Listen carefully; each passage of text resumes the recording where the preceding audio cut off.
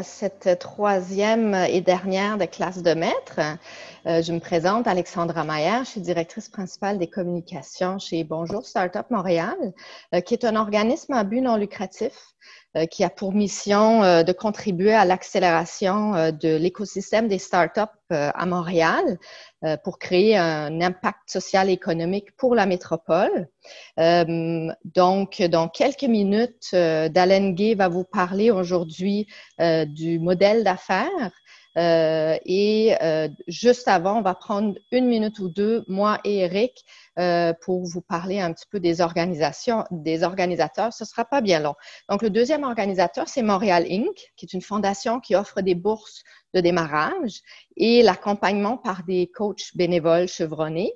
Et euh, donc, euh, bah, déjà, ces deux organismes-là euh, collaborent avec Startup en résidence, qui est l'incubateur de Desjardins. Donc, avant que je passe la parole à Eric, juste vous préciser que suite à la présentation de Dalan Gay, qui va démarrer dans une couple de minutes, il y aura une période de questions. donc, on préfère, avec un format virtuel, garder les questions à la fin. Donc, notez-les bien. Vous aurez la chance de les poser. Vous pouvez les mettre dans le Q&A que vous voyez en bas euh, de l'écran, puis on va les noter euh, avant, euh, avant la période de questions. Donc, je passe la parole à Eric. Merci beaucoup, Alexandra. Alors, je m'appelle Éric Morin. Je suis conseiller principal en innovation à la direction innovation ouverte chez Desjardins. Je suis aussi responsable lead de l'incubateur de Desjardins qui est Startup en résidence. Je suis bien heureux de collaborer avec Montréal Inc. et Bonjour euh, Startup Montréal, qui sont euh, deux acteurs très, très importants de la scène startup. Euh, L'incubateur Startup en résidence de Desjardins accueille et accompagne depuis trois ans déjà des startups qui proviennent des quatre coins du monde et qui ont le potentiel d'apporter une valeur ajoutée aux membres et, et clients de Desjardins et aussi appuyer l'institution financière dans sa transformation numérique et créer un impact dans la société canadienne. On reçoit des startups en techno-financière, en propriété en immobilière, donc la PropTech, mais aussi en santé, la HealthTech. Et euh, évidemment, on, pousse euh, l'innovation dans ces technologies-là à travers le Canada.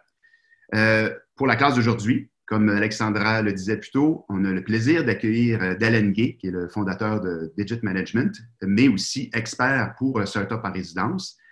Petite note, Dalen vous offrira un petit cadeau à la fin de la session. On la remercie, on la remercie beaucoup pour ça. Il vous présentera aussi une offre spéciale pour un programme de lancement d'entreprise pour ceux et celles euh, que cela intéresse. Alors, ça sera une, petite pub, mais très, très, très intéressante. Dalen, merci d'être avec nous aujourd'hui, juste avant cet été qui s'annonce chaud on te donne le plancher. Tout d'abord, euh, merci beaucoup à Montréal Inc. Bon, merci aussi à Bonjour Startup Montréal et à Startup Résidence des Jardins, euh, entreprise et surtout organisation pour laquelle j'ai le plaisir et le bonheur d'être aussi un coach.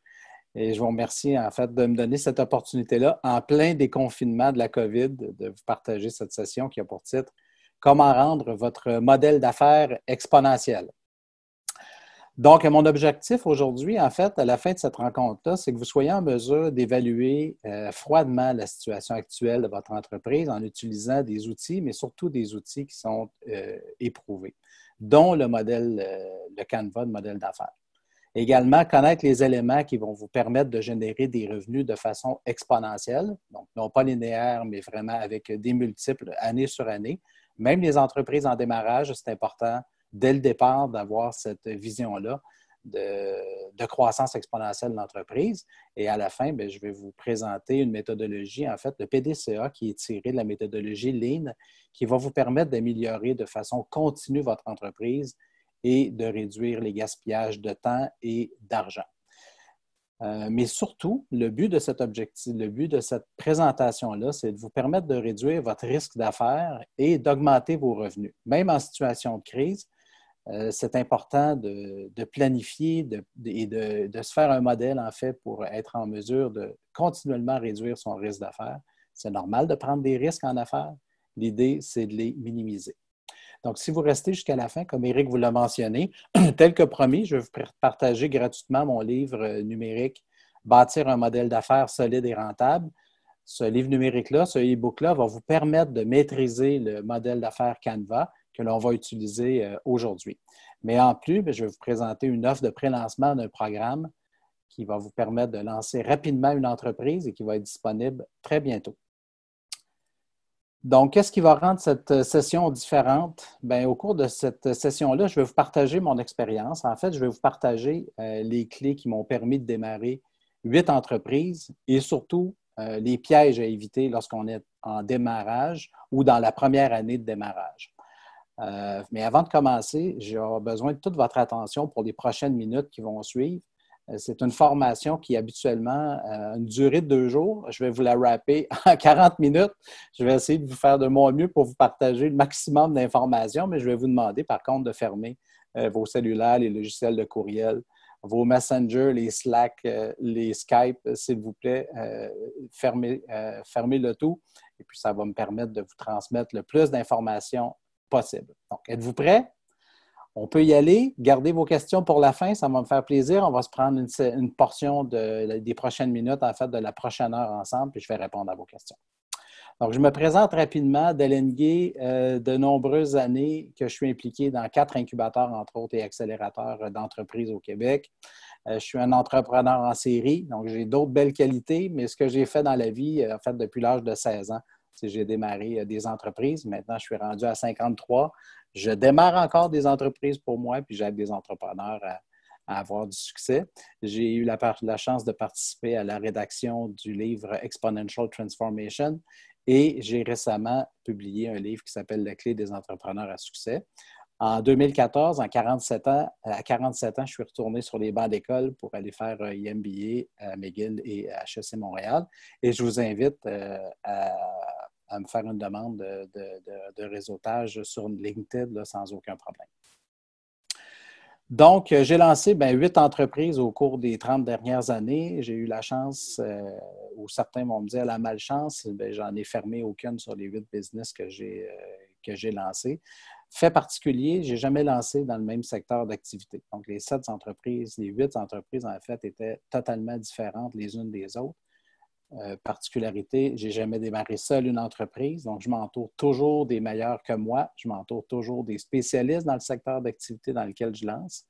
J'ai un réseau, un carnet d'adresses euh, quand même assez bien rempli pour m'aider à, être capable de me concentrer sur comment, sur qui peut m'aider et non pas comment je vais le faire moi-même. Par exemple, si je dis, ben, je lance une nouvelle entreprise, j'ai besoin d'un logo, euh, ben, en plus d'être daltonien, je suis vraiment mauvais en design. Donc, je vais plutôt travailler avec un designer qui, lui, fait des années qu'il travaille avec Photoshop au lieu que moi, ça me prend 30 heures à apprendre le logiciel puis avoir un résultat très moyen. Donc, j'aime mieux travailler avec des experts qui vont m'aider à prendre la vitesse et moi, je vais pouvoir me concentrer sur euh, livrer la vision de mon entreprise. J'ai fait plusieurs erreurs, dont celle d'essayer de tout faire moi-même. Mais la plus grande erreur euh, en tant qu'expert, c'est que je me suis dit que je savais ce que mes clients voulaient. Donc, euh, l'erreur principale que j'ai faite, et, euh, ça a été de me fier sur mes hypothèses et de ne pas les valider auprès de clients. Une autre erreur que j'ai faite dans, le même, secteur au niveau des segments de clients, ben, je n'ai pas su définir euh, qui était mon client de rêve. En fait, je me suis retrouvé avec des clients qui ne partageaient pas du tout les mêmes visions, les mêmes valeurs d'affaires que moi ce n'était pas mes clients de rêve. Donc, j'ai dû faire à plusieurs reprises dans mes entreprises en démarrage des pivots au niveau de mes clientèles. Donc, au début, je disais oui à tout le monde. Et ce fut euh, probablement la plus grande erreur que j'ai faite parce que mon entreprise n'avait pas la croissance euh, et n'avait surtout pas la rentabilité euh, espérée. Mais j'ai appris de mes erreurs, en fait. C'est ce que je vais vous partager au cours, euh, ce que j'ai fait au cours des 30 dernières années. Je vais vous partager à, définir euh, qui est votre client de rêve, à valider les besoins de vos clients, à utiliser une méthode simple pour lancer avec succès vos projets d'entreprise et surtout euh, à vous baser sur des faits et non pas des hypothèses. On peut faire ça euh, rapidement, on peut faire euh, tourner les coins ronds. En fait, par tricher, ce que je veux dire, c'est que euh, vous pouvez croire que vous savez mieux que vos clients de ce qu'ils ont besoin. vous pouvez penser que c'est facile de faire des ventes, puis vous n'êtes pas l'expert, vous êtes peut-être l'expert dans votre domaine, mais vous n'êtes pas votre clientèle cible. Et par prendre des raccourcis, ce que je veux dire, c'est euh, de ne pas faire ses devoirs afin d'évaluer vos options avant, avant d'engloutir beaucoup de temps et d'argent dans une aventure qui se terminera par un échec. La validation, elle est primordiale. Il faut parler à ses clients, même à des fournisseurs. Je vous raconterai euh, une anecdote euh, un peu plus tard de la dernière entreprise que j'ai que j'ai lancée, qui était une microbrasserie. Donc, qu'est-ce qui se passe quand on ne valide pas nos choses? Bien, les résultats, en fait, quand on prend des raccourcis, ce que ça donne, ça donne des entreprises qui offrent peu de potentiel de croissance, des produits des services qui ne répondent pas à des besoins et des attentes de clients de masse. Ça donne une entreprise qui a des très lentes acquisitions de clients, peu de fidélisation et surtout des batailles sur les prix. Donc, on ne répond pas réellement à un besoin client. Donc, c'est toujours trop cher pour notre client cible ou pour euh, notre client prospect. Ça donne aussi un coût d'opportunité manqué et c'est une augmentation énorme de votre risque euh, d'affaires. Maintenant, imaginez-vous, prenez quelques secondes, fermez les yeux, imaginez-vous lancer ou faire croître votre entreprise et avoir des clients qui sont incroyables, mais partout dans le monde. Votre équipe d'entreprise, vous êtes l'équipe de référence dans votre domaine. Vous gérez une croissance, une entreprise ayant une croissance avec un multiple de 10. Donc, année sur année, vous faites 10 fois les revenus de l'année précédente. Si votre entreprise atteignait ces trois objectifs, quel serait cet impact? Quel serait l'impact sur votre famille, sur vos amis et également sur votre autonomie financière? C'est tout un changement. Ça serait vraiment incroyable. C'est possible. Puis je vais aujourd'hui vous partager l'outil pour être capable de vous euh, permettre de faire ça je vais maintenant vous révéler les trois secrets, les outils que j'utilise de façon quotidienne. En fait, je bois mon propre Kool-Aid, comme on dit. Donc, ce que je vais vous présenter, c'est vraiment un outil que j'utilise à tous les jours euh, pour mes entreprises et pour les entrepreneurs avec lesquels euh, je travaille. Puis en plus, ben, je, vais vous partager une petite facette de ma personnalité. Je déteste prendre des risques ou même prendre des décisions de façon impulsive moi, ça me prend un plan. J'aime ça, euh, avoir au moins un plan sur 12 mois où je m'en vais euh, de façon très précise. Je prends des risques, mais je prends des risques euh, calculés. Donc, je vous propose, c'est une méthode éprouvée en trois étapes, très simples, afin de lancer ou même faire croître votre entreprise et réduire votre risque d'affaires. Le secret numéro un, ben, c'est que je dois valider mon modèle d'affaires. Mais avant d'avoir dit ça, ben, c'est quoi un modèle d'affaires? Donc, un modèle d'affaires, le Business Model Canvas est tiré du livre euh, Business Model Generation. Je vous le recommande fortement. Ça a été développé par Alexander Osterwalder et Yves Pignard, de qui j'ai eu la chance de recevoir euh, la formation. C'est un outil que moi j'utilise sur une base quotidienne depuis 2010 euh, et c'est l'outil que nous allons utiliser tout au, long, tout au long de cette session. Mais avant, à des fins de définition, en fait, c'est quoi un modèle d'affaires? On entend beaucoup parler. Euh, les gens vont le confondre aussi à l'occasion avec le plan d'affaires. Donc, c'est deux choses qui sont complètement différentes. Le modèle d'affaires, c'est un outil de brainstorming, de prototypage, en fait, qui nous permet de mettre sur papier de façon simple, sur une seule feuille. Je vais vous le montrer, le Canva, euh, à l'instant. Sur une seule feuille, euh, capable de définir quelle est mon entreprise. Puis on peut aussi l'utiliser pour définir quelle est notre clientèle cible et même la compétition. Donc, c'est un outil euh, qui contient neuf blocs, mais c'est surtout la logique entre chacun des blocs qui est importante. Donc, chacun des blocs de façon individuelle est important, mais la combinaison des neuf blocs euh, amène tout son sens et amène toute la profondeur au modèle d'affaires. Ça vous permet aussi de capturer, créer puis livrer de la valeur pour l'ensemble de nos parties prenantes. Quand je vous dis parties prenantes, on tient en compte les actionnaires, les employés, les clients, euh, les partenaires ainsi que la communauté dans laquelle euh, l'entreprise fait affaire. Donc, euh, je vous passe ça rapidement. Le business model d'affaires, donc c'est un outil qui est euh, très visuel, qui permet d'imaginer et même de faire évoluer une entreprise. Je l'utilise aussi dans les entreprises en croissance. donc, c'est aussi bon pour un start-up que pour les entreprises en croissance. Fait que neuf blocs, on va passer chacun des blocs. Je vais vous donner des exemples de chacun des blocs à utiliser. Première des choses, on n'écrit jamais sur le business model euh, Canvas. On utilise des post-it pour être capable de travailler et de modifier notre business model. Et puis, euh, ben, à la fin de la session, en fait, vous pourrez télécharger le Canva gratuitement de mon site web sans aucun problème. Euh, il est disponible et même je vous recommande fortement d'en imprimer une grande, version et de l'accrocher au mur dans votre entreprise ou dans votre bureau. Et l'ordre des blocs est important. Donc, le premier bloc que l'on va regarder, c'est le bloc des segments de clients. Donc, un segment de client, on va le faire quand même assez euh, à haut niveau. Donc, un segment de client, c'est exemple, ben, moi, mes clients, c'est du B2B. Euh, c'est des entreprises ou c'est des euh, particuliers avec un revenu élevé ou un revenu moyen. Et à l'occasion, on va aussi déterminer le territoire. Donc, est-ce que c'est des entreprises au Québec, au Canada, dans ma, localité, ou si j'ai une entreprise exponentielle, à ce moment-là, mon segment de client sera localisé à l'échelle internationale. Donc, si on veut être une entreprise à forte croissance, il euh, ne faut pas se limiter sur une zone géographique. Le deuxième bloc, c'est celui de la proposition de valeur. Donc, qu'est-ce que je vais retrouver dans ce bloc-là, en fait? C'est de quelle façon est-ce que je vais régler et quel, et quel problème je règle de mes clients? Quels sont les besoins de mes clients? Quelles sont les attentes de mes clients? Donc, ce n'est pas un endroit où je vais mettre les spécifications de mon produit ou de mon service.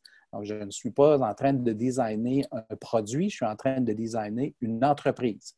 Donc, la proposition de valeur, c'est ma réponse aux besoins et attentes de mes clientèles cibles. Troisième bloc, les canaux. Donc, les canaux, c'est la façon, c'est pour ça qu'il y a un petit camion, euh, l'icône. Donc, c'est comment je vais faire pour livrer ma proposition de valeur à mes segments de clients. Donc, quand je dis livraison, c'est quelle est ma force de vente? Je vais vendre mes produits ou services de quelle façon? Est-ce que je vais le faire avec des représentants? Est-ce que je vais le faire via un site web transactionnel? Est-ce que je vais le faire en utilisant un réseau de magasins? Donc, je vais simplement définir quel sera ou quels sont mes différents canaux euh, pour être capable de vendre ma proposition de valeur à mes clients. Si je passe aussi par un réseau de distributeurs, on peut aussi l'indiquer euh, à cet endroit-là. Quatrième bloc, les relations clients, le petit cœur, en fait. Donc, c'est de quelle façon est-ce que je vais faire mon marketing? Quel est le type de relation que je vais avoir avec mes clients? Est-ce que c'est une relation qui est personnalisée?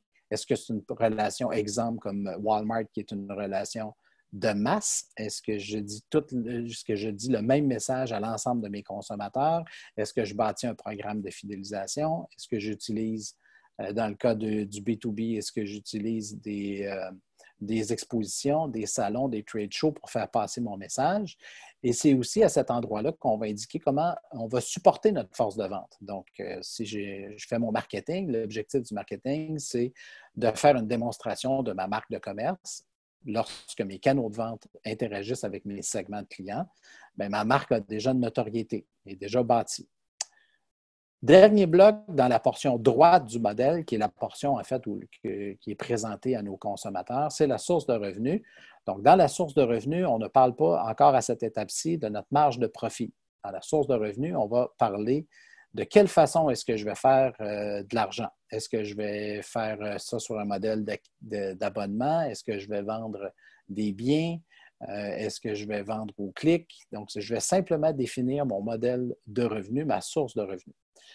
Portion arrière du modèle, maintenant, on y va avec les ressources clés. C'est la portion gauche du modèle, c'est ce qui me permet de supporter mon modèle d'affaires et de livrer ma proposition de valeur.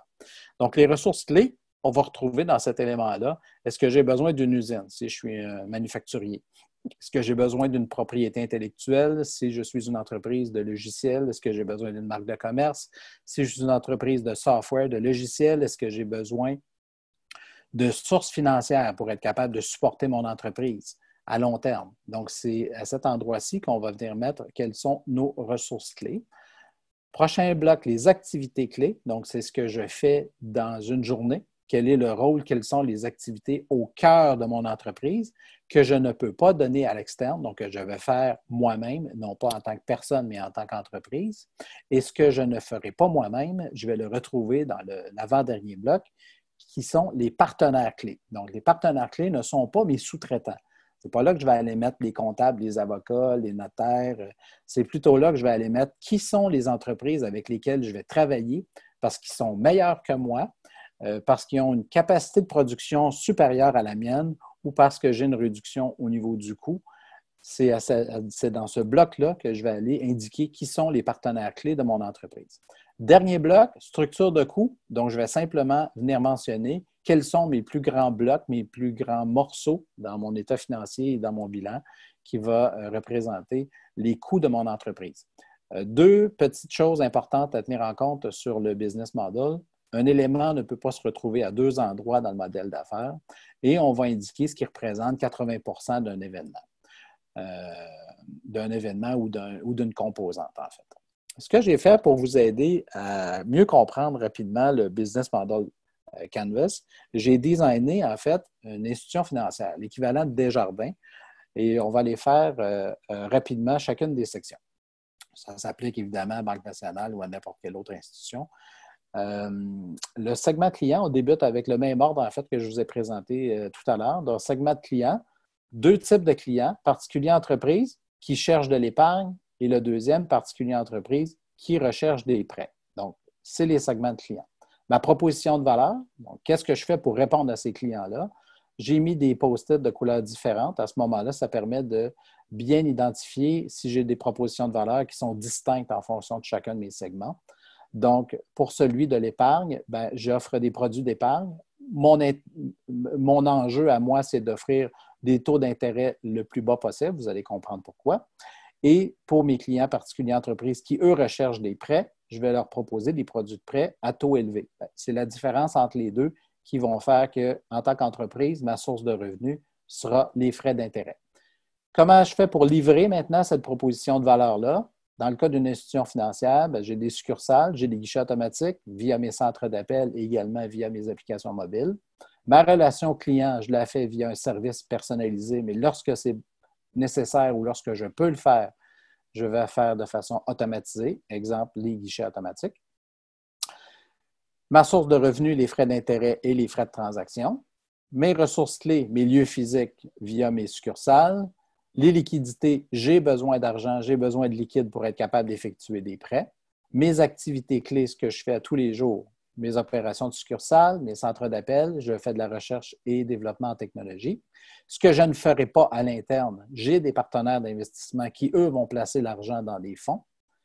J'ai aussi des solutions technologiques. Par exemple, une institution financière va utiliser des plateformes qui appartiennent, entre autres, à IBM ou à Oracle pour être capable de gérer leur euh, business et les régulateurs et gouvernements, dans le cadre d'une institution financière, sont indispensables. Au niveau du coût, j'ai des dépenses d'intérêt et j'ai l'opération de mes canaux de vente. Donc, vous avez vu à quelle vitesse on est capable de faire une présentation d'une entreprise complexe comme euh, Desjardins ou comme la Banque nationale. Et c'est un outil, euh, le Business Model va vous servir énormément au niveau de votre elevator pitch si vous êtes en présentation ou en recherche de financement. Deuxième secret. Donc, le deuxième secret que je vais vous partager aujourd'hui concerne la croissance d'une entreprise. Vous allez me dire, oui, mais c'est parce que je sors de la crise du COVID. Euh, je ne suis pas vraiment en train de penser à la croissance, je suis plus en mode survie. Bien, en fait, l'idée, c'est de réfléchir aux différentes options qui vont rendre votre entreprise beaucoup plus robuste parce qu'il y aura une prochaine crise, que ce soit le COVID ou autre chose. Donc, euh, l'idée, c'est de voir de quelle façon est-ce que je peux rendre mon entreprise beaucoup plus robuste en ayant euh, une pensée qui est exponentielle.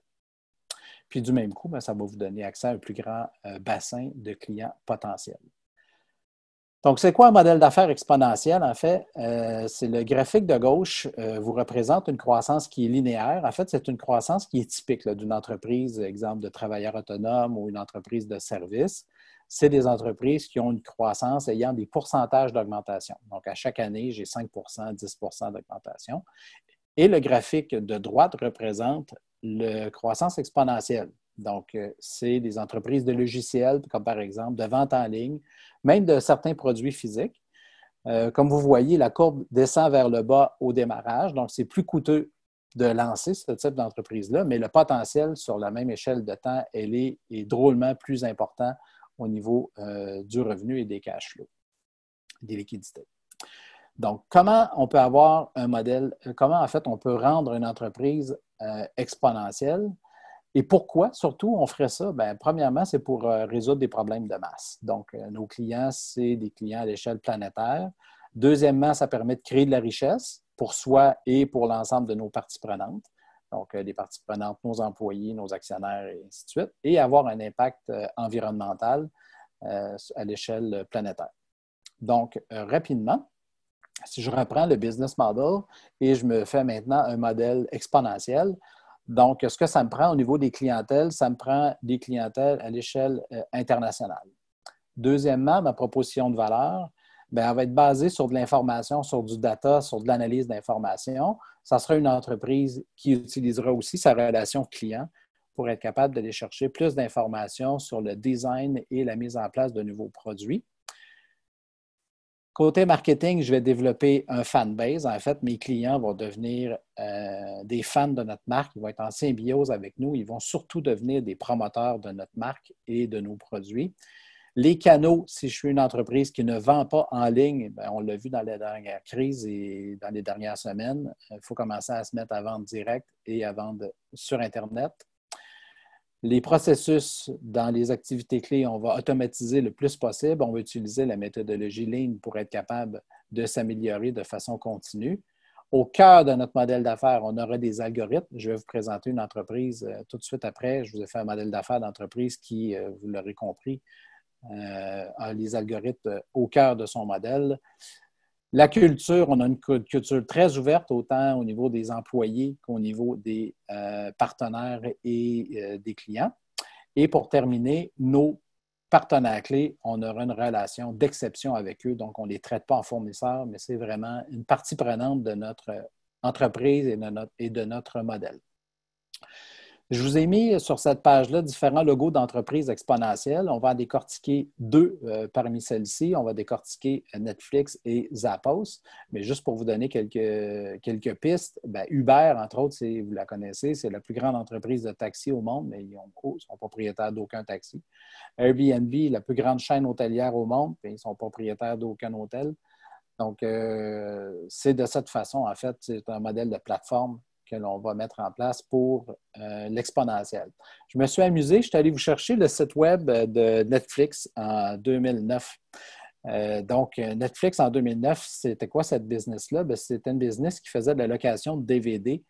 Euh, vous alliez sur le site web, commander un DVD, vous receviez votre DVD par la poste, vous regardiez le DVD et vous retournez le DVD par la suite. Donc, c'est un modèle qui n'est pas exponentiel parce qu'on a euh, de l'inventaire à gérer, des locations à gérer, il y a des produits physiques à gérer. Euh, Netflix a quand même pivoté, euh, fait une modification de son modèle d'affaires plusieurs fois depuis le lancement de l'entreprise. Ils sont passés de je fais de la location de DVD à je fais du streaming en ligne. Et ils sont passés tout dernièrement de mon modèle de streaming en ligne à la distribution et surtout à la production de contenu original. Donc, si je prends Netflix, rapidement, je réutilise mon modèle d'affaires pour être capable de faire de l'exponentiel. Donc, ce qui différencie le modèle, j'ai un marché de masse, donc tous ceux qui veulent regarder euh, un film ou avoir accès à du contenu. Je n'ai pas de territoire, c'est partout au monde. Ce que la clientèle cherche, c'est un prix. Donc, au lieu d'être basé sur un coût à l'allocation d'un DVD, c'est un prix qui est basé sur ma source de revenus, qui est une source de revenus par abonnement. Disponibilité du produit, c'est toujours disponible. Ça ne vous est jamais arrivé d'aller sur Netflix et de dire j'en ai plus en stock. Donc, c'est disponibilité sans limite et le contenu exclusif. De quelle façon est-ce que Netflix vend son, ou livre sa proposition de valeur? Via netflix.com et les multiplateformes, donc les tablettes, les Apple TV, euh, les mobiles. Tout est disponible via ces plateformes-là. La relation client hautement personnalisée, donc basée en fonction du contenu que vous regardez et euh, de ce que vous consultez. L'algorithme vient vous présenter euh, de façon one-to-one, de façon personnalisée, le contenu. Deuxième business, c'est Zappos. Euh, c'est une entreprise de Las Vegas qui a été fondée en 1999. C'est une entreprise de vente en ligne, principalement des chaussures. Ça représente 80% de leur chiffre d'affaires. Ça a été vendu à Amazon en 2009 pour la modique somme de 2, de 1,2 milliard de dollars US seulement. Et euh, Zappos, en fait, ne fabrique aucun produit, ne gère aucune logistique, n'ont pas d'entrepôt, n'ont pas d'inventaire. Ce n'est qu'un centre d'appel. Caractéristique importante de Zappos également, c'est une entreprise qui est holocratique, donc euh, qui n'a aucune structure hiérarchique. Sur la photo, vous voyez le président qui est Tony, ici, le chandail noir avec les barres rouges, euh, que j'ai eu le, plaisir de rencontrer en 2014. Il est venu à C2 Montréal nous présenter son entreprise. Donc, encore une fois, rapidement, modèle d'affaires de Zappos, toujours le marché de masse, donc ils vendent à travers le monde. Proposition de valeur, les clients, ce qu'ils recherchent, c'est beaucoup de choix et surtout beaucoup, beaucoup, beaucoup de services à la clientèle. La base de Zappos, en fait, ce n'est qu'un centre d'appel avec un site Web. Euh, les canaux de distribution, uniquement, euh, oups, excusez-moi. Euh, uniquement en ligne. La relation client, c'est une relation vraiment d'amour et de gratitude, donc service clientèle d'exception. Les ressources clés, la culture de l'entreprise, les activités clés, c'est de l'analyse de base de données et l'anticipation des besoins clients. Et leur partenaire clé, ben, c'est même avant la transaction avec Amazon, c'est Amazon qui gère l'ensemble des entrepôts, euh, les inventaires, réception des nouveaux produits, expédition. Dans leur partenaire clé, fabricant de chaussures, Zappos ne fabrique absolument rien. Et UPS, qui est le partenaire mondial de livraison, euh, le partenaire de livraison des commandes de chez Zappos. Donc, Zappos, super ligne. La seule chose qu'ils font, c'est à, l'aide d'algorithmes, c'est l'analyse des bases de données et segmentation afin de répondre aux besoins des clients. Donc, rapidement, solutionner des problèmes de masse, bâtissez des communautés d'intérêt. Il faut que vos clients deviennent des fans et des promoteurs de votre brand, de votre marque.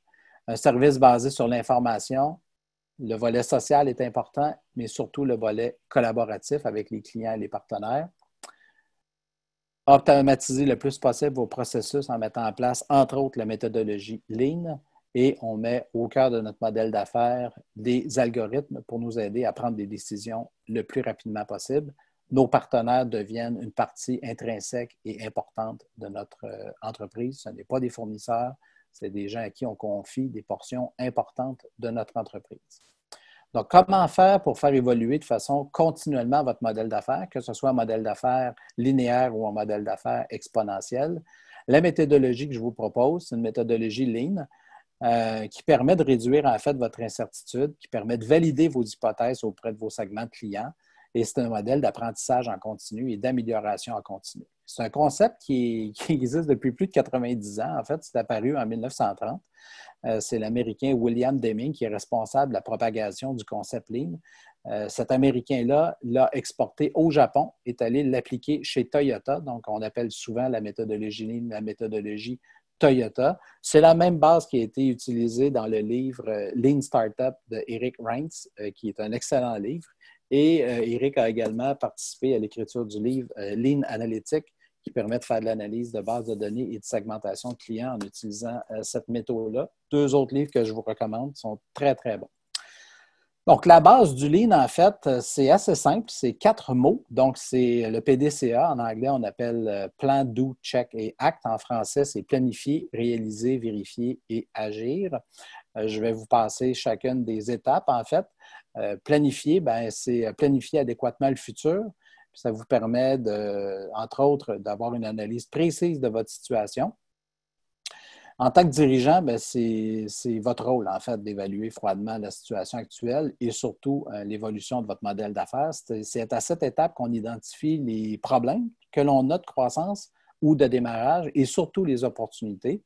On émet des hypothèses, mais on ne prend pas pour acquis que notre, idée est la meilleure. Donc, on émet des hypothèses que l'on va aller valider euh, par la suite auprès de clients. il y a des éléments qu'on va valider de façon hebdomadaire, d'autres de façon mensuelle et d'autres de façon euh, annuelle lors de notre euh, rencontre de planification euh, annuelle avec l'équipe de direction. Deuxième étape qui est réalisée, c'est la validation en fait sur le terrain des hypothèses et c'est aussi la mise en œuvre. Donc, par exemple, les questions qu'on va se poser, c'est si vous avez des emplacements physiques, ben, de quelle façon est-ce que vous allez pivoter vers le commerce électronique? De quelle façon vos clients pourront acquérir de la marchandise sans avoir à quitter la maison ou le bureau? Euh, pouvez-vous également offrir des services spécialisés? Quelle est la prestation que vous pouvez offrir à distance? Donc, c'est le genre d'hypothèse que l'on va émettre, mais surtout que l'on va aller valider auprès de nos clients dans la première phase qui est la phase bêta. Troisième élément, check, qui est de vérifier. En fait, ben là, c'est là qu'on va partager notre modèle d'affaires avec tout le monde dans l'entreprise afin d'avoir des suggestions. Mais on va aussi la valider avec des clients ou avec des fournisseurs, puis on peut même la valider avec des compétiteurs, ce que j'ai fait euh, dans ma dernière entreprise. Et euh, dans cette entreprise-là, tantôt, je vous parlais du business model avec euh, des post-it, en fait. Euh, on a fait plus de 100 versions du business model avant de lancer le produit sur le marché. Donc, si quelqu'un parmi vous dit, ben moi, j'en ai fait un business model, bravo, mais il y a des chances que vous en fassiez plusieurs. C'est un outil itératif de design. Dernière, euh, euh, portion, en fait, c'est acte euh, ou bien agir, mais en fait, ce n'est pas la dernière portion. Ça ne s'arrête pas à acte parce que c'est une boucle d'amélioration continue. La roue continue de tourner pour enchaîner avec le prochain plan, en fait, de planification. Et c'est de cette façon-là que l'on fait une itération. En développement de logiciels, c'est souvent, c'est très utilisé, en fait, avec la méthodologie agile. Agile aussi, euh, il découle de la méthodologie Lean, en fait. Euh, l'idée, c'est de s'améliorer continuellement et d'innover euh, afin, de, afin de survivre. C'est l'heure des surprises. Donc, voici le lien afin de télécharger mon e-book. Donc, https www.startup30.co livre gratuit. On va également, dans le courriel qui va suivre, euh, cette session demain ou lundi. Vous allez recevoir aussi le lien, mais il est déjà disponible. Donc, si vous allez sur euh, ce site-là, vous serez en mesure de télécharger mon e-book, partir un modèle d'affaires solide et rentable. Le livre, en fait, a été écrit pour vous permettre de maîtriser l'utilisation du euh, business model. Mais ce n'est pas tout, comme dirait Steve Jobs. Donc, j'ai une autre surprise pour vous. Eric en a parlé en introduction. c'est une surprise, mais c'est une surprise qui n'est pas pour tout le monde elle est réservée uniquement aux personnes les plus motivées d'entre vous. En fait, je vais accompagner 10 personnes parmi vous à démarrer votre entreprise en ligne. C'est quoi, en fait? Ben, c'est Startup 30. C'est un nouveau programme. Euh, c'est 30 jours sur, euh, en fait, 5 jours par semaine pendant 6 semaines. Donc, les week-ends, on vous laisse tranquille. Le programme permet un lancement rapide d'une entreprise en ligne en utilisant des méthodes et des outils éprouvés. Donc, en 30 jours, vous démarrez votre entreprise en ligne et vous aurez des clients potentiels. Si vous avez déjà démarré votre entreprise, ça vous permet de valider que tous les blocs sont bien au bon endroit pour être capable de faire une croissance plus rapide. C'est seulement 10 euh, personnes et les 10 personnes vont vraiment être accompagnées euh, au cours du programme. Donc, ce que vous obtenez, vous obtenez une méthode de lancement afin de réduire votre risque. Vous serez accompagné par des experts. C'est une vidéo par jour pendant 30 jours avec des outils éprouvés à télécharger. Vous aurez accès à l'espace membre à vie ainsi que toutes les améliorations du programme. Tout ça pour une valeur de 3 300 En plus, pour les 10 premières personnes qui vont faire partie du groupe, vous aurez accès au groupe Facebook Startup 30 qui est déjà en ligne, qui est maintenant disponible session de coaching de groupe en ligne hebdomadaire. Donc, les 10 personnes, vous aurez droit à une, session de coaching avec tout le groupe. Et vous aurez aussi une heure de consultation avec moi pour vous aider à utiliser le Business Model Canvas, en plus une valeur de 1191 Donc, rapidement, ce que vous obtenez, méthode de lancement accompagnée par des experts, 30 vidéos de formation, l'espace à vie ainsi que les améliorations, le groupe Facebook, une heure de coaching par mois euh, par semaine live, une heure de consultation avec moi pour vous aider à utiliser le business model, une valeur de 4 490 Pour les 10 premières personnes, on vous fait cette offre de lancement-là à 587 C'est quand même euh, tout un rabais, tout un escompte, toute une promotion. C'est déjà disponible. Donc, on prend seulement que les 10 premières personnes vous pouvez vous rendre au www.startup30.co. C'est déjà disponible et vous pouvez vous procurer l'offre de lancement dès maintenant. Avez-vous des questions? Et c'est le moment où on répond à vos questions. Bonjour Dalène. Donc, euh, j'invite tout le monde à poser vos questions. Euh, soit en levant votre main ou en posant une question dans le QA, encore une fois, ici en bas. Euh, moi, j'aurais peut-être une pour nous, nous starter, comme on dit. Euh, je pense aux, entrepreneurs qui euh, sont en démarrage ou euh, qui ne sont pas assez avancés. Tu as beaucoup parlé avec raison là, de valider le modèle auprès des, euh, des clients. Mais qu'est-ce que tu conseilles à des, des, des gens qui n'ont pas encore de clients, ils sont en pré-revenu ou ils ne sont pas rendus là? Qu'est-ce qu'ils peuvent faire? Comment ça s'applique à eux? Bien, la première chose, en fait, euh, ça serait de définir c'est qui mon client drive. Donc, avec, avec qui je veux faire de la business? Euh, quel est le segment de client ou quelles sont les particularités ou en fait même quels sont les clients ou les prospects qui pourraient partager les mêmes valeurs que moi? ça, c'est la chose, la, première chose à faire. Deuxième chose, pour être certain d'avoir une proposition de valeur, donc une offre de produits, services qui répond à des besoins, c'est pas compliqué. Hein? c'est uniquement de prendre, de prendre le temps de discuter avec ces gens-là. La pire chose, c'est penser qu'on sait ce que nos clients veulent. Parce qu'on n'est pas, on n'est pas le segment de client, on n'est pas la cible. Donc, euh, prenez le temps de jaser avec vos clients, avec vos prospects. Si vous n'avez pas encore, pas encore de revenus ou pas encore de clients, c'est le bon moment. Décrocher le téléphone, aller prendre un café, là, on peut avec le déconfinement, ça va être possible.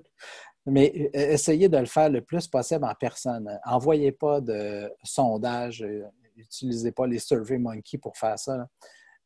Parlez aux gens, posez-leur des questions, prenez un 10-15 minutes avec ces gens-là, pour, surtout pour avoir le ton et les bons mots qui vont vous servir après pour développer votre argumentaire et votre pitch de vente. Ça serait ça mon, merci, ma suggestion. OK, très bien. Donc, même si on n'a pas encore de clients, on peut penser à des gens dans notre entourage qui représentent ce que moi, je pense être le client potentiel et donc je peux échanger avec ces gens-là. Ça n'a pas besoin d'être beaucoup plus élaboré que ça. Ah non, pas du tout. Euh, moi, dans ma dernière entreprise que j'ai lancée, qui était une microbrasserie, une usine à bière, pas un bar, mais euh, même avant de faire la première recette de la bière, on avait déjà rencontré les acheteurs des grandes chaînes. On les avait déjà demandé quelles étaient les caractéristiques des produits, quels étaient leurs problèmes au niveau de la bière. Et on a complètement modifié le produit avant même sa sortie parce qu'on avait eu des informations hautement pertinentes de nos clients. Et on avait même présenté notre modèle d'affaires à des compétiteurs pour voir euh, si euh, ce que ça. Donc, euh, j'ai aucun problème à, présenter ça à des compétiteurs, des fournisseurs, des clients. Au contraire, ça vient enrichir le, le modèle d'affaires et les gens sont très intéressés à vous aider à faire évoluer votre modèle. Et euh, lorsque je suis en démarrage sans client, c'est le bon moment de faire ça.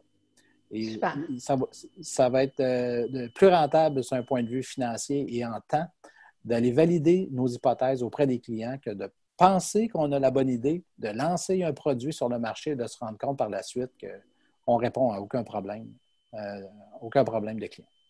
Merci. Euh, alors, on a, euh, on a plusieurs questions. Ça a rentré euh, très bien. Merci beaucoup. donc, je vais commencer avec Grégory. Je vois qu'il y en a pas mal. J'hésite à ouvrir le... Ah, bon, bon on y va.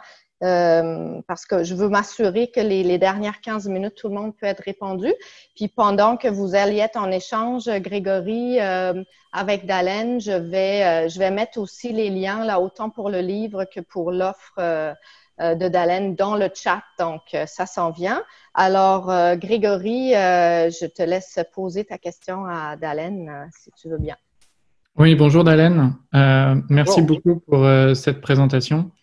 Euh, Dalen, je voulais te demander, sauf erreur de ma part, dans le euh, Canva euh, Business Model, il n'y a pas euh, la concurrence. Est-ce que tu peux nous dire pourquoi et nous éclairer là-dessus, s'il te plaît? Oui, la concurrence, en fait, fait partie de l'environnement externe de l'entreprise. Donc, si je veux faire un mapping ou en fait un design de mes concurrents, je vais faire un modèle d'affaires, un Canva par concurrent pour être capable d'analyser quels sont sont, quelle est leur valeur, euh, leur proposition de valeur. Donc, euh, la concurrence, l'environnement externe, les lois gouvernementales fait partie de l'environnement externe d'une entreprise. Euh, donc, je ne le mettrai pas directement dans, un, dans le Canva. Et là, pendant que je vous parle, Grégory, j'essaie de vous trouver la bonne page dans le business model, dans le livre Business Model Generation, euh, qui explique exactement comment on fait pour, euh, pour venir mapper euh, autour de notre modèle d'affaires, en fait, ce type d'éléments-là. Ma recommandation est de faire un business model par concurrent. si je vais être capable d'analyser leur proposition de valeur et de déterminer quel sera mon blue ocean, en fait, quel est mon positionnement sur le marché afin d'avoir le moins de compétition possible. C'est à la page 201 du Business Model Canvas, excusez-moi. Et c'est ici que la compétition va venir se retrouver. Ok, donc si je, si je résume, il y a un business model Canvas pour mon entreprise et puis un business model Canvas par concurrent de mon entreprise. Oui, ça serait la meilleure pratique. Merci beaucoup. Merci. Merci, euh, Grégory. Euh, je passerai à la prochaine question. Euh, donc, je vais juste la lire parce que je n'ai pas le nom de la personne, alors pas de problème. la question est la suivante. Quelle est votre façon d'approche pour les grandes entreprises? J'ai de la difficulté à m'adresser aux preneurs de décision. Ah oui, ah, c'est une bonne question. Question développement d'affaires. Donc, ben, en fait, dans les grandes entreprises, il y a souvent euh, plusieurs rôles. Vous avez euh, le rôle de celui qui va acheter ou utiliser votre produit. Donc, déjà là, j'ai deux personnes souvent dans les grandes entreprises. J'ai l'utilisateur, j'aurai celui qui prend la décision d'achat, j'ai l'influenceur et j'ai souvent celui qui tient les cordons de la bourse. Donc, j'ai quatre personas, en fait, dans mes segments de clients. J'ai quatre personas à définir et à qui je dois adresser euh, un marketing ou une approche qui est totalement différente. Donc, euh, c'est la façon. Donc, euh, je, dois déterminer qui sont mes quatre personas, comprendre qu'est-ce qui vient influencer leur décision d'achat et par la suite, ben, mettre en place les canaux de vente pour être en mesure de rejoindre ces gens-là. Je peux le faire via une équipe de vente, mais je peux aussi très bien le faire via des tunnels de vente de façon automatisée. c'est deux, deux, approches qui sont, sont disponibles. J'espère que ça a répondu à votre question. Et donc, ce que je comprends, c'est qu'il n'y a pas nécessairement une approche différente selon si c'est une grande entreprise, une petite entreprise. Euh, je pense que, tu sais, des fois, dans les grandes entreprises, il y a beaucoup plus de niveaux hiérarchiques. C'est peut-être l'approche initiale qui est plus difficile à bien identifier. Bien, la difficulté, en fait, c'est que les quatre rôles qu'on a mentionnés, qui est l'utilisateur, l'acheteur, l'influenceur et celui qui détient les cordons de la bourse, sont souvent, sont, dans une grande entreprise, sont joués par plusieurs personnes. Alors que dans une petite entreprise, c'est la même personne qui utilise, qui décide, puis qui vous fait, euh, qui vous signe de bon de commande. Même des fois, c'est tellement petit qu'il n'y a pas de bon de commande, ils vont vous faire un chèque. Donc, mais les quatre rôles sont joués par la même personne, mais ces quatre rôles-là se retrouvent toujours. Donc, il faut être capable de mettre en place un pitch de vente pour être capable d'atteindre ces quatre, euh, ces quatre rôles-là avant d'être capable de, fermer une vente. D'accord, merci. Euh, donc, je passe à la prochaine question de Félicie Desmazières. Euh, j'ai du mal à faire la différence entre ressources clés et partenaires clés. en fait, il y, a trois, il y a trois questions. On va commencer avec celle-là. On va espérer, je ne sais pas si Félicie ah, Desmazières est là. Donc, on pourrait lui demander, parce qu'elle a, des sous-questions aussi, qu'on pourrait lui demander si euh, vous voulez bien euh, peut-être euh, activer votre micro. Félicie. Sinon, on peut y aller comme ça. donc, la, différence entre ressources clés et partenaires clés. Oui, donc c'est souvent ces trois blocs-là, ça, devient un peu mélangeant. Il faut jouer avec. Le business model Canvas, c'est un muscle. Il hein. faut, le travailler, il faut le développer euh, pour être, euh, être en mesure d'être à l'aise. Mais je vous reviens, je vous euh, résume ça rapidement. Donc, les ressources clés, c'est de quoi j'ai, qu'est-ce que j'ai besoin de façon essentielle? Par exemple, je suis une entreprise manufacturière. Est-ce que j'ai besoin des usines pour fabriquer mon produit? Je peux prendre la décision que je vais tout faire moi-même ou je peux prendre la décision, comme Zappos, de faire fabriquer par quelqu'un d'autre. Donc, si je le fais moi-même, mon usine va se retrouver dans les ressources clés. Si je le fais faire par quelqu'un d'autre, bien, la fonction de production va se retrouver dans mes partenaires clés. Parce que c'est la production d'un produit qui est cœur à ma business. Donc, si ce n'est pas moi qui le fais, je le fais faire par quelqu'un qui est moins cher, qui a plus de capacité de production que moi, donc devient un partenaire clé. Les activités clés, c'est ce que je ferai dans mon entreprise. Donc, par exemple, si c'est moi qui fabrique mes produits, ben, dans mes activités clés, j'aurai la fonction de gestion de la production, gestion de la logistique. Si ce n'est pas moi qui le fais, j'aurai dans mes activités clés l'activité de supervision de mon partenaire. Donc, je ne sais pas si j'ai été euh, clair. Un autre exemple, c'est Nespresso, qui, est un produit que tout le monde connaît, qui était drôlement intéressant. Nespresso, euh, ben, ils ne font pas pousser le café. Donc, euh, ils ont des ententes avec les producteurs de café. Donc, le producteur de café est un partenaire clé dans le cas de Nespresso. Par contre, la fabrication des capsules est faite par Nespresso. Donc, ils ont des usines pour fabriquer les capsules de café, mais ils ne font pas pousser le café. Merci. Euh, merci. Euh, Félicie, en fait, elle peut pas poser sa question live parce qu'il y a un problème de, micro. Euh, je vais peut-être peut-être très rapidement ces deux autres questions parce qu'il y en a d'autres qui arrivent, puis je veux m'assurer, je veux m'assurer qu'on puisse répondre à tout le monde. Donc, peut-être les deux questions rapidement de Félicie. Donc, pouvez-vous raconter votre échec avec votre démarrage de micro-brasserie? Euh, et euh, la deuxième question, euh, nous désirons lancer une entreprise de biscuits apéritifs de Dresch. Nous avons donc du stock. Pouvons-nous avoir ce modèle exponentiel quand même? Ah oui, bien sûr. Bien, en fait, la microbrasserie est loin d'être un échec. D'un échec, la brasserie existe toujours. Donc, c'est la bière, la bière. Je vais faire une petite pub. Donc, la bière s'appelle Baldwin. C'est une bière bio en canette. Donc, l'entreprise existe toujours. Euh, en fait, c'est euh, une entreprise subséquente où euh, on avait fait l'erreur de croire qu'on savait à la place du client quel était son problème, quel était le meilleur produit et service pour lui.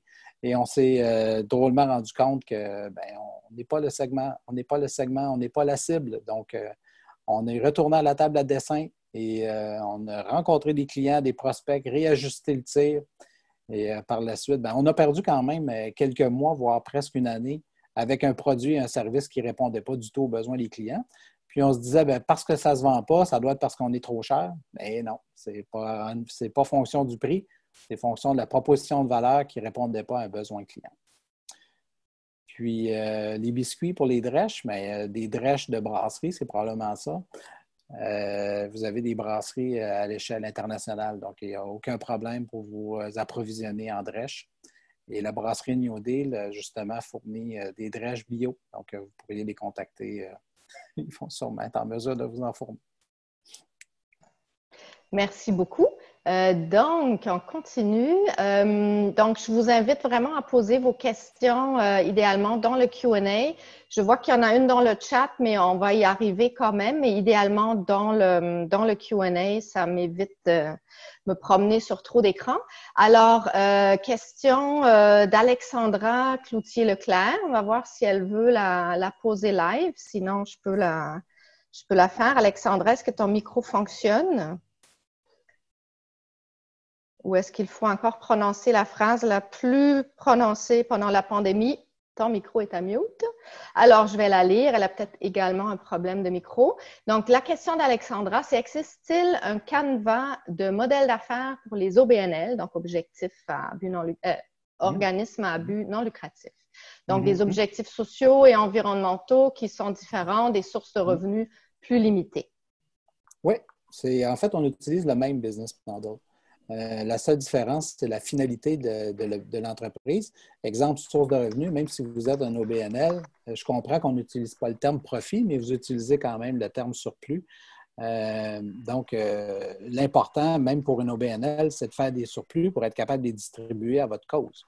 Donc, ça fait partie de vos parties prenantes, de votre implication. Là, je ne connais pas la nature de votre OBNL, que ce soit environnemental ou sociétal, mais l'objectif est le même. Donc, c'est de répondre à un besoin. Dans ce cas-là, vous aurez deux besoins, probablement, deux types de segments, euh, clientèle de segments. Vous aurez la clientèle pour laquelle vous voulez euh, offrir votre produit et service, la clientèle d'aide, et vous aurez euh, la clientèle d'impact, dans quel secteur ou dans quel, dans quel secteur, en fait, vous voulez avoir de l'impact. Est-ce que c'est de façon communautaire ou sportif, ou euh, peu importe. Mais on utilise exactement le même business model pour les sans lucratifs. Même chose pour les coops, les coopératives, c'est aussi le même euh, modèle d'affaires.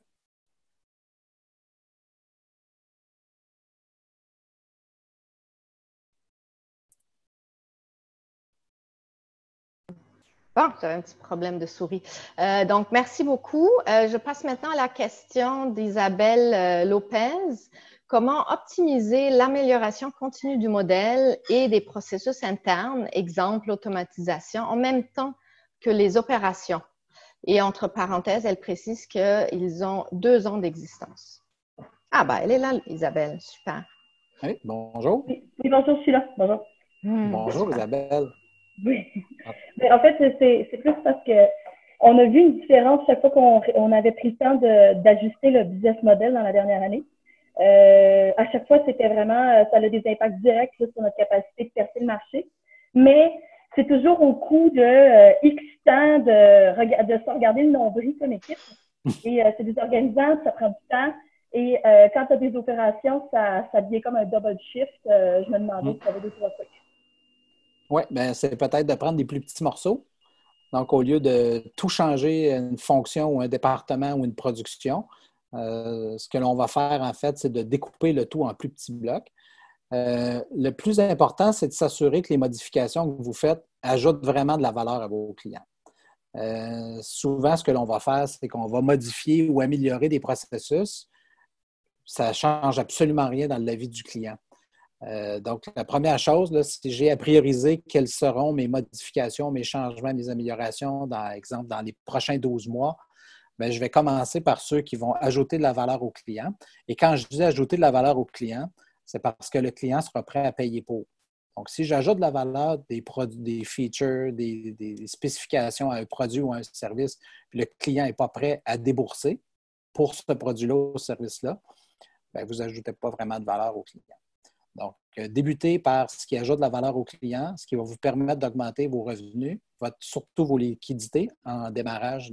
ce qui est le plus important, c'est la gestion de vos liquidités et de prendre des, plus petits blocs et de les intégrer euh, à, votre, euh, à votre développement d'entreprise. si je fais le parallèle avec une entreprise de logiciels, par exemple, ben, eux vont appliquer la méthodologie agile et je travaille avec certaines compagnies de logiciels ils font une amélioration de leurs produits euh, à chaque trois semaines. Donc, à chaque trois semaines, on fait un, release, donc on, déploie sur le marché une nouvelle version, soit d'une spécification ou d'une fonctionnalité. C'est des plus petits blocs, mais au bout d'un an, euh, on a moins brassé la cage, en fait, on a moins brassé l'entreprise, puis on a continué à faire euh, de la croissance. Ça serait ma recommandation. Vous aviez mentionné utiliser le business model Canvas quotidiennement. Euh, comment ça se passe? Et en vous levant, vous, vous, regardez ça un peu comme on se regarde dans le miroir, vous vous dites est-ce que ça me plaît encore? Euh, comment, comment ça se passe? J'essaie de ne pas le faire seul dans le miroir, j'essaie de le faire en équipe. Euh, et puis, euh, mon équipe, ben, c'est oui, les gens avec qui je travaille au quotidien dans mon entreprise, mais c'est surtout des clients. Donc, j'ai mon petit business model Canvas, ma feuille avec mes post-it continuellement dans mon, sac d'ordi. À chaque fois que je rencontre un client ou fournisseur, je ressors ma napkin, en fait, je ressors mon business model et je challenge chacune, chacune des boîtes. Euh, je, le fais, euh, ma révision en fait complète avec mon équipe, c'est plus sur une base trimestrielle, mais j'ai continuellement mon business model avec moi. Je peux même en devenir achalant. Ouais. Merci beaucoup. Merci, ça me donne une bonne idée? Excellent. Merci Isabelle. Euh, ben, ceci, je pense, met pas mal fin à la période de questions à 9h30 pile. Je pense qu'on a répondu à tout le monde. Alors, euh, ceci euh, conclut euh, la troisième et dernière classe de maître. Donc, pour tous les participants, vous allez recevoir par courriel le lien pour revoir la présentation. Euh, si vous avez manqué un bout, euh, il y aura également euh, donc l'enregistrement et les liens aussi vers le livre et l'offre. Donc moi, j'aimerais ça remercier Dalen pour son temps, sa générosité. Et Eric, je suis certain, certaine que tu vas vouloir ajouter un petit mot de fin également. mais merci encore. Merci, Alexandra. Alors, euh, quelques secondes pour euh, remercier encore une fois Dalen. Petite anecdote, Dalen a la réputation, du moins euh, chez Startup à résidence, je vais dire de faire pleurer, mais c'est un peu, peu fort comme mot, mais de, stresser les fondateurs fondatrices en les challengeant continuellement sur leur, leur business model. Donc, avis aux intéressés, c'est pas facile de travailler avec lui. Merci à Alexandra et aussi à Dalen, qui n'est pas avec nous aujourd'hui. Et finalement, merci, un grand merci à Samuel, toujours en arrière-scène, qui s'assure que tout roule rondement et qui fait la promotion de ces super classes de maîtres. Merci tout le monde et je vous souhaite un bel été.